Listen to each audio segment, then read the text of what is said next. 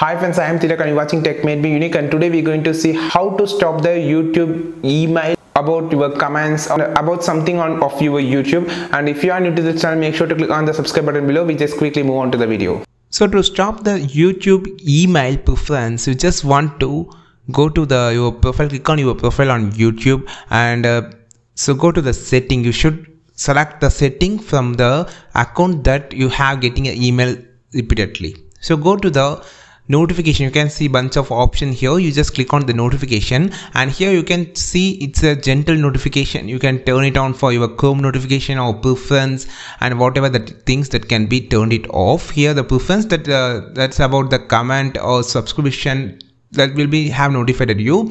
So scroll down you can see the email preference and you can turn it off your email preference. Like uh, if you to be sending about the products or whatever that you want you just can read here. You can easily turn it on or turn it off about the what are the mails what are the mail that you don't want. You can just turn it off from here. And there is also a language can be mail language can also be changed. This will will change only the mail language and not the your youtube language so you can turn it on turn it off from here that you want to uh, email which email that you want you can uh, easily solve the solution you can check it in the preference that you don't want the command you don't want a subscription so you can have a every setting here on YouTube PC. Friends, if you find this video perfectly useful, like this video, share this video with your friends.